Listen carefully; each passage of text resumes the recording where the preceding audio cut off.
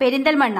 ഓണക്കാലത്തും K S R T C തൊഴിലാളികളുടെ ശമ്പളം തടഞ്ഞുവെച്ച സർക്കാരിന്റെ തൊഴിലാളി വഞ്ചനയ്ക്കെതിരെ F I T U Malappuram ജില്ലാ Perinthalmanna K S R T C ഡിപ്പോയുടെ മുന്നിൽ പ്രതിഷേധ ധർണ നടത്തി.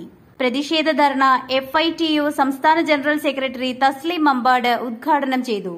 ലോകത്തെല്ലായിടത്തുമുള്ള പരിഷ്കാരങ്ങൾ നമ്മുടെ നാടിന് അനുയോജ്യമല്ലാത്ത രീതിയിൽ അശാസ്ത്രീയമായി നടപ്പിലാക്കുവാൻ ശ്രമിച്ച കോർപ്പറേഷനാണ് കെഎസ്ആർടിസി സർക്കാർ മാനേജ്മെന്റ് ദൂർത്തിന്റെ ഫലമാണ് കോർപ്പറേഷന്റെ ഇന്നത്തെ അവസ്ഥയ്ക്ക് കാരണമെന്നും അദ്ദേഹം പറഞ്ഞു. F I T U Malappuram ജില്ലാ പ്രസിഡന്റ് കൃഷ്ണൻകുടിയിൽ അധ്യക്ഷത വഹിച്ചു. വെൽഫെയർ പാർട്ടി മലപ്പുറം ജില്ലാ പ്രസിഡന്റ് നാസർ കീഴ്പ്പറമ്പ് മുഖ്യപ്രഭാഷണം നടത്തി. Habeeb Malik asset.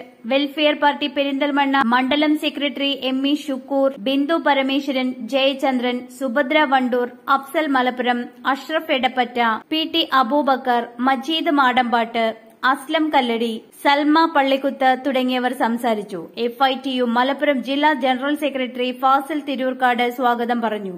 F I T U ജില്ലാ കമ്മിറ്റി അംഗം സൈതാലി വലമ്പൂർ നന്ദിയും പറഞ്ഞു.